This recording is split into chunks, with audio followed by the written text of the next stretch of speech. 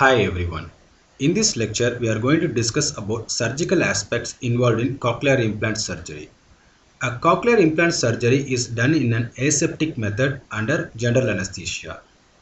The approach involved in cochlear implantation surgery is transmastoid facial recess approach to round window and scala tympani. A postaural incision is made in order to expose the cortical bone. The incision is done in such a manner that it will not affect the underlying arteries, thereby preventing the excessive blood loss during the surgery. Once a postaural incision is made, the skin flap along with the soft tissues are retracted using retractors. The periosteum is removed in order to expose the cortical bone. Once the cortical bone is exposed, drilling can be done.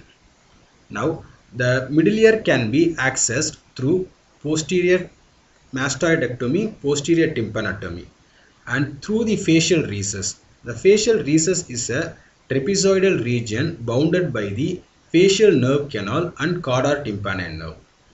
So at the anterior end it is formed by the buttress of the incus bone. After the cortical mastoid bone is exposed, the mastoidectomy is done where a part of the mastoid cavity is removed by drilling the bone. Once this is done, posterior tympanotomy is done in order to approach the facial recess. The surgeon can identify the uh, landmarks of the facial recess such as the lateral semicircular canal, fossa incudis or buttress of incus, the facial nerve canal.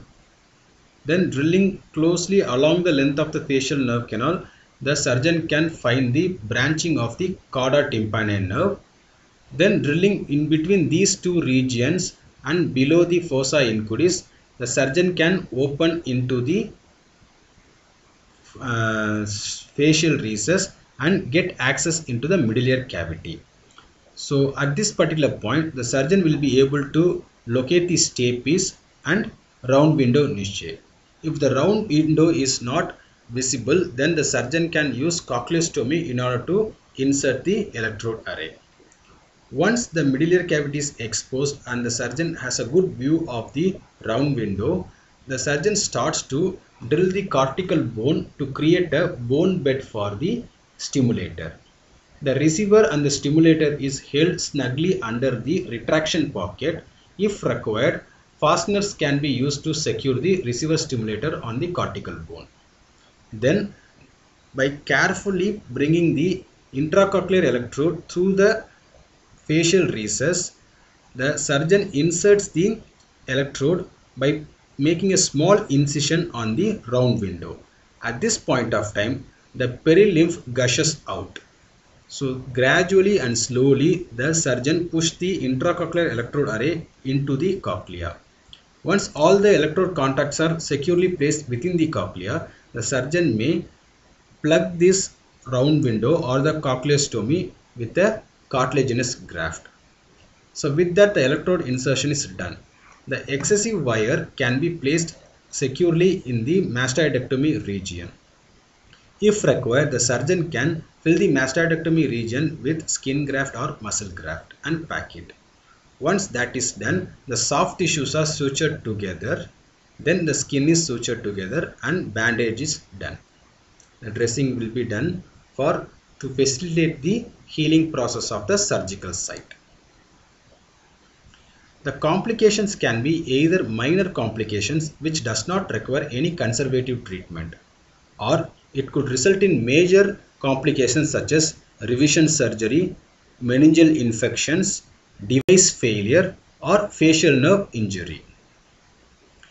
The complications can be during the intraoperative period where there can be gusher of perilymph or obliteration of the structures of middle ear or the inner ear labyrinth. The complications can occur early in the period which can occur till 3 months post surgery or it can occur later in a delayed manner after 3 months post surgery. These delayed complications include cholesteatoma formation in the middle ear, electrode migration from the cochlea and failure of the device. The frequent complications include the infection at the surgical site and loss of tissues from the skin graft. This happens mainly due to poor incision technique and flap design. The flap must have adequate blood supply and venous drainage to avoid these kind of infections. The facial nerve injury is a serious issue which can result in facial palsy. It rarely occurs during cochlear implant surgery but can happen from as a secondary damage from the heat evolved from the burr shaft during the drilling process. Hence the drilling has to be done in a more accurate manner. Mm, in individuals with otosclerosis, there are high chances that the facial nerve can be stimulated. A malpositioned electrode array or the electrode migration from its actual position can result in non-auditory stimulations whenever that electrode is being stimulated. If the electrode is placed in the hypotympanic region or it gets compressed or kinked within the cochlea, then there might be a requisite for a revision surgery to reposition the electrode array.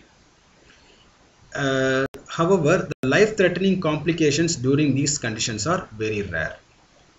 There are instances where the patients who had or developed vestibular symptoms or imbalance symptoms after the cochlear implantation surgery. This is mainly because of collapse of saccule resulting in cochlear hydrops. In few individuals, there has been improvement in the postural stability after the implantation. Tinnitus can occur in rare cases after surgery. However, most of the individuals who have tinnitus pre-operatively felt that their tinnitus is either suppressed or completely removed after activating the cochlear implantation. The complications in children include recurrent middle ear pathology, uh, wound complications where the wound, surgical wounds do not heal at a quicker rate. Uh, there can be uh, incomplete insertion of electrode contacts within the cochlea.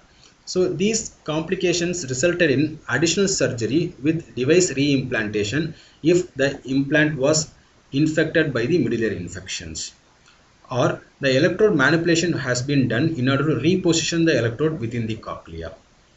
There has been major hospitalizations without surgery for to take care of the wound infections as well as middle ear infections. In many cases, there have been delayed activation date. The cochlear implant was activated after longer days post implantation due to slow healing of the surgical wounds. The post implant meningitis can happen mainly because of streptococcus pneumoniae. And uh, this streptococcus pneumoniae meningitis occurred due to the use of implant positioner in a particular company.